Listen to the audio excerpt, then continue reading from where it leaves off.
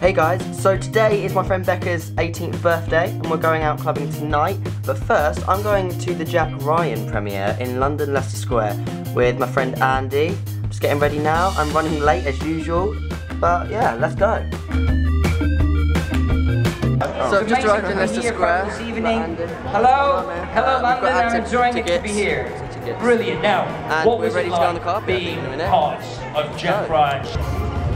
Ron rushed in, man. That was nuts. That was. It was so legit. So we're walking down the carpet now for the Jack Ryan premiere. It's pretty dope. Pretty good, just chilling on the premiere.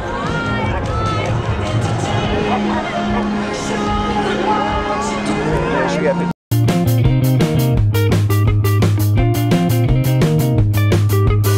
We've just come out of film. Everything a bit intense, man. it was really intense.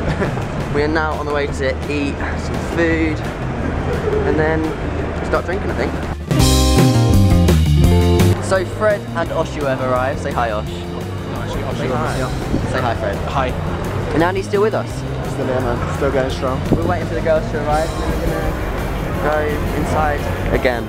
I'm vlogging today. Say hi. Ashley. Who the fuck So we're Hi, back at Mike's and Charles is, but Charles isn't here, he's in Paris. My face hurts.